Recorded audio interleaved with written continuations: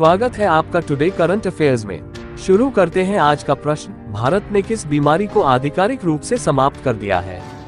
ए TB B तपेदिक C trachoma D malaria, answer C trachoma. Explanation Bharat ने सार्वजनिक स्वास्थ्य समस्या के रूप में ट्रेकोमा को समाप्त कर दिया है।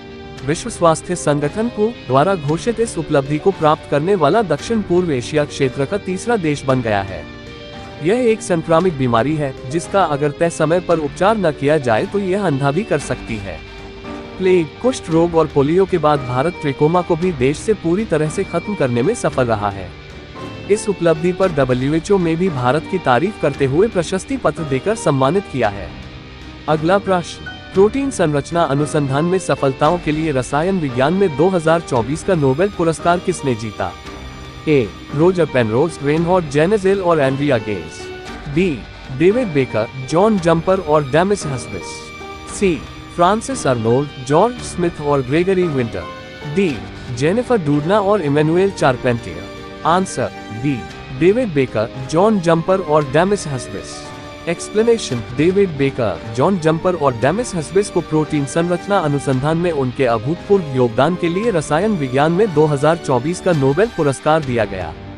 इस तकनीक का उपयोग प्रोटीन की संरचना में बदलाव कर नए गुण वाले प्रोटीन बनाने में किया जाता है। नए प्रकार के प्रोटीन दवाइयों और वैक्सीन के विकास में सहायक होते हैं। अगला प्रश्न। साहित्य में 2024 का नोबेल पुरस्कार किसे प्रदान किया गया?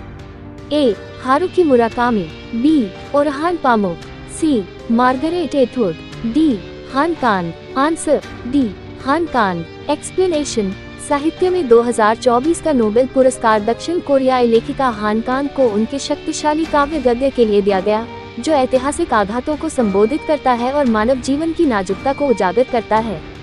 अगला प्रश्न। किसे श्रीलंकाई क्रिकेट टीम का मुख्य कोच बनाया गया है?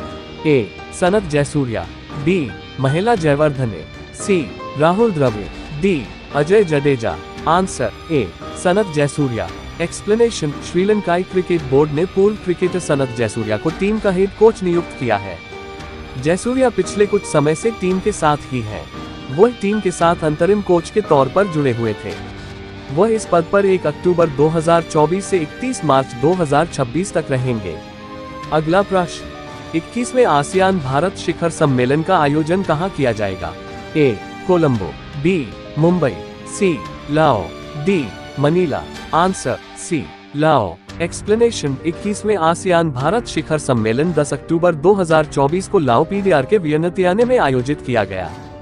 भारत की एक्ट ईस्ट नीति के एक दशक पूरे होने पर प्रधानमंत्री श्री नरेंद्र मोदी आसियान नेताओं के साथ आसियान भारत व्यापक रणनीतिक साझेदारी की प्रगति की समीक्षा करने और सहयोग की भविष्य की दिशा तय करने के लिए शामिल हुए।